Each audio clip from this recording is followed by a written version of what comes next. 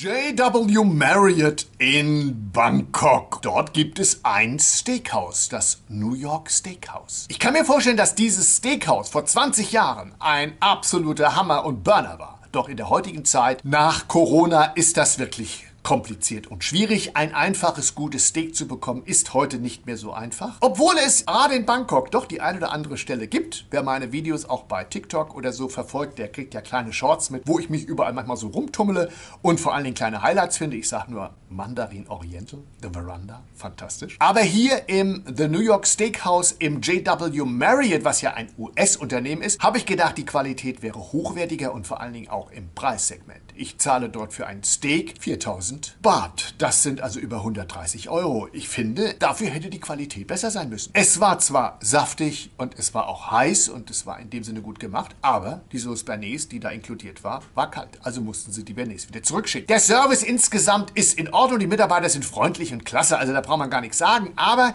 ich finde, dass diese Köche, und das sind thailändische Köche, da ist der eine schon sehr lange dabei, wahrscheinlich von Anfang an. Er hat nichts dazugelernt, sondern er hat verloren. Denn ich kann mir vorstellen, dass es früher besser war, als es heute ist. Und dass man heute sicherlich kompromissbereit sein muss, auch als Koch, wenn man in solchen Restaurants dann überhaupt noch tätig sein will, weil es war eben nicht ausgebucht und es war wenig los. Es ist insgesamt wenig los. Habe ich auch die Kritiken mal so ein bisschen gelesen, wie was andere so geschrieben haben und da waren die Dinge genauso, wie ich sie empfunden habe. Es gibt dort sicherlich die Möglichkeit, wenn man Glück hat, ein gutes Steak zu bekommen. Was sehr schön ist, als Ambassador Mary Bonvoy Member bekommt man nochmal 10% Rabatt Rabatt. Das war nochmal nett. Da hat man nochmal das Gläschen Wein umsonst. The New York Steak House hier im JW Marriott in Bangkok hat mich nicht begeistert. Ich würde nicht nochmal hingehen und darum gibt es von mir leider ein No-Go.